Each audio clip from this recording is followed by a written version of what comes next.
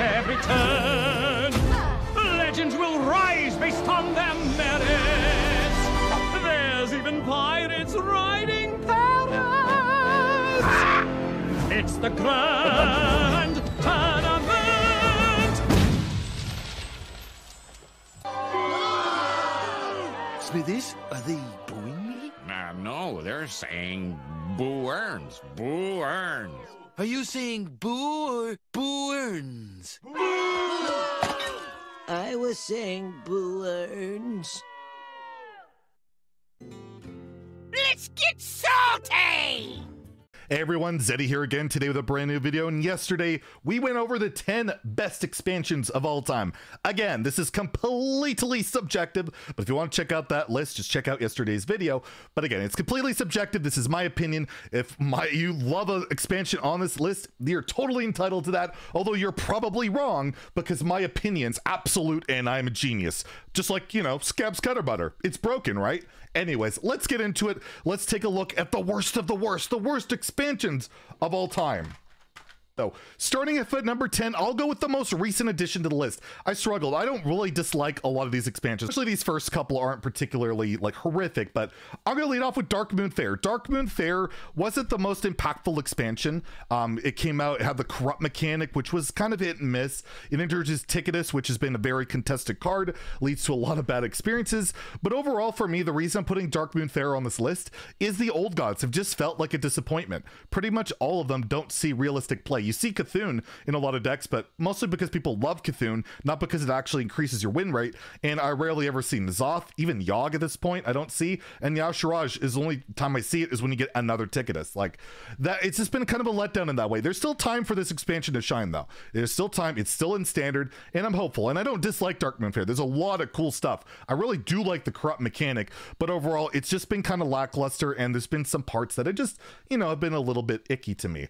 Um, next at number I'm going to have the Witchwood. The Witchwood introduced the rush mechanic, which you can argue at this point might be a downside to the game with so much stuff having rush making board frustrating. But overall, it was a good addition at the time. I still think it is. We've talked a lot about it, but um, for me, the Witchwood again wasn't the most impactful expansion, and the cards to themselves left me pretty uninspired. Just looking through like the card list um, for this video, it was just not that great. And the main thing that came out of this was like the odd and even decks, Genn and Baku, and I did not particularly enjoy either of those archetypes. It would make games very linear, very boring, and they dominated for a year straight. And they still plague wild to this day. You might like your odd and even decks, but personally, I don't enjoy either facing them or playing them. So this expansion alone for that just doesn't really make it that high on my list. At number eight, I'm gonna go with Kobolds and Catacombs. A lot of people actually really love Kobolds and Catacombs, and they're entitled to. This was one of the most powerful expansions ever. We had like legendary weapons. If you look at the Warlock list of cards, every card in there is insane. Like every card for Warlock was just nutty, and a lot of it was nerfed too. You had Carnivorous Cube introduced to the game, and yeah, Kobolds and Catacombs is one of the most powerful expansions, but to me, it was too powerful. It was too frustrating. And it led to that whole year of basically it was Kobolds and Frozen Throne, and you were getting dominated by those decks. For me, it just rubbed me the wrong way. It's just not an expansion that I particularly love. And I'm not a huge fan of cards like Rin the Disciple that would delete your deck. It's a common theme with like Ticketus and stuff. I'm not a fan of deleting your deck, even even if it could be fun to do yourself. I just I don't love that style. It just feels bad when you don't get to play your cards. So for me, Kobolds is number eight, but again, not a high offender, not an expansion I particularly hate or anything like that. At number seven, we have a more recent addition to the list, Ashes of Outland. This expansion was an absolute and utter disaster at launch. It introduced a brand new class of Demon Hunter and it dominated like no other class or deck ever has or hopefully ever will again. We saw like 13 or 15 nerfs to the class over the expansion's time. For the most part, stuff introduced to other classes was not particularly interesting. We had like all the prime minions, which led to the mage one being nerfed because it was just ridiculous. And a lot of them haven't panned out. And a lot of stuff from this expansion just didn't pan out. It was really focused on getting Demon Hunter to get, you know, off the floor running and Oh my goodness, it did. But overall, Ash is just very frustrating experience and definitely did not have great memories of that expansion or its meta. At number six, we have One Night in Karazhan. This is an adventure that was lackluster in every definition of the word.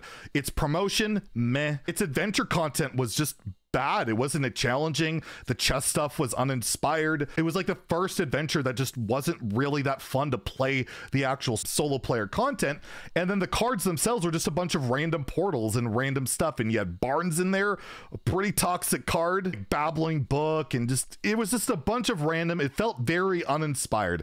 It was one of the most uninspired, uninteresting adventures in every sense of the word, and just didn't love it. And the arena meta sucked too. It's like firelands portal city. It was just not a very enjoyable experience. At number five we have rise of shadows the, lackey filled bomb warrior filled expansion with just power level power level power level and I just it has to be on my list for lackeys alone. You guys have heard me talk about it a lot. I hate lackeys. They were introduced in Rise of Shadows. They plagued ladder for the longest period as possible because Rise of Shadows came out at the very beginning of a standard rotation and they introduced more lackeys, especially the dragon one as time went on. But overall, I just don't love the expansion. There's nothing really about Rise of Shadows that really stands out to me. And you have a lot of just broken stuff that just made the game for me. It felt worse. I felt like Rise of Shadows made Hearthstone a worse game, and I feel like it feels a lot better these days because Rise of Shadows isn't there. So at least we got that. The good part of it is it eventually left. At number four, we have the Grand Tournament introducing the most powerful mechanic of all time, Inspire, where you would hero power gain an effect, as well as there is Joust, although not an official mechanic. You would like if you would have a more expensive card in your deck and show it, you would get a boost. Both of these mechanics were failures. This expansion introduced almost nothing. It gave Mysterious Challenger to Paladin, and it gave some inspired cards to Genn and Baku decks very, very farther down the road. But overall, the Grand Tournament just sucked. It just wasn't great. The power level wasn't great. The card design was just again, it was meh. Nothing was exciting about the Grand Tournament. And uh, yeah, it's just one of the most panned expansions of all time for a reason. At number three, I'm going to surprise some people here. I have Rastakhan's Rumble, the one of the most panned expansions of all time for its power level. People just didn't like Rastakhan's. It didn't do a heck of a lot, but it had a lot of cool cards. It had some cool stuff in here like Jan'alai the Dragonhawk, Hex Lord Malacrass, and a personal favorite of mine is a card, the Soul Flare. It was like a really sweet type of tech card where you could like fatigue your opponent with it. You could do stuff with Elysiana later down the road or shut off a Mecha'thun deck or naturalize for it. Like it was just a really cool card. It wasn't great by any means. And that was the thing with expansion. It wasn't that great. It didn't really do a heck of a lot. And it did bring some problematic stuff, in particular Master's Call, which put Hunter at like tier one, just ridiculous level for a very long time because it turns out if you give Hunter three mana draw three, it's pretty powerful. And combination of Zul'jin and Deathstalker Rexxar, it was pretty ridiculous. So I will put Rastakhan's Rumble on the list pretty high for just how uninspired the expansion was. But overall, it wasn't as bad, I feel like, as people remember. At number two, I'm going to put one of my most hated expansions of all time Descent of Dragons, the most powerful, overpowered expansion of all time. We had the introduction of Dragon Queen Alexstrasza, the Galakrond Shaman in particular broken out the gate, as well as the Rogue Galakrond pretty broken, infinite value in Priest, which was disgusting, and just a whole whack of broken dragons, broken cards, the most nerfed expansion of all time. You might have loved a lot of these cards, maybe, because they were crazy and OP, but for me, it just drove me up the wall. Every game just became the most ridiculous, overpowered power creep thing where you had like no say in what was happening. You just played a bunch of broken crap and saw what happened. I mean, just look at Druid's Ysera getting a bunch of dream portals, cheating out all these insane dragons and trying to deal with it. The power level is something we had never seen before and haven't seen since. Just a ridiculous expansion. And I, I don't know. For me, it was just it was just over the top. Like you look at a card like Kronx, it was just absurd in its power level. Not only is it a card that tutors basically premium stats, but it gives you a giant taunt, deals damage, all this stuff, and it got power crept out of the game. But regardless, it was just such a crazy over the top expansion. And for me, it was just too much. It was too much. I love really crazy stuff for the most part, but Descent of Dragons went way, way over the line, in my opinion. And at number one, my most hated expansion of all time. This is the expansion, the only expansion to ever make me quit Hearthstone. I actually quit for like a couple weeks. I mean, that's something for me.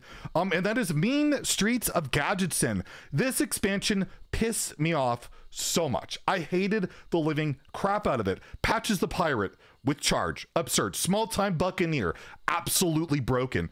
I couldn't stand cards like Drakonid Operative. The J cards, oh, there goes playing control. Jade Idol's in the game. There was just so many issues with this expansion. It just infuriated me. It introduced like this whole tri-class thing, and you had like this hand buff stuff with like Don Han'Cho. That didn't work. Again, you had the Jades, which is just puke, and then you had Kazakus with Highlander stuff, which got way out of control as we know as time went on. Overall, it was just the pirates being so grotesquely overpowered, control being completely taken out of the game by Jades, and Priest getting insane support with like a Dragonfire potion and a Drakonid operative, Kabal Talonpriest in Arena. It was just an infuriating experience, one of my least favorite expansions. The only thing I enjoyed about it was there was a bug when the expansion went live where if you opened your packs, the tri-class distribution wasn't correct. So if you open your packs early, they gave you extra packs as compensation for that. And I opened like almost a thousand Un'Goro packs, and that was pretty sweet. I got a lot of dust. Other than that, I didn't really enjoy um, Mean Streets of Gadgetzan pretty much at all. So let me know in the comments below what your least favorite expansions of all time, which ones of these you loved and enjoyed. I would love to hear it, hear your opinions. And if you enjoyed the video, please like and subscribe. Have a great day and stay salty, my friends.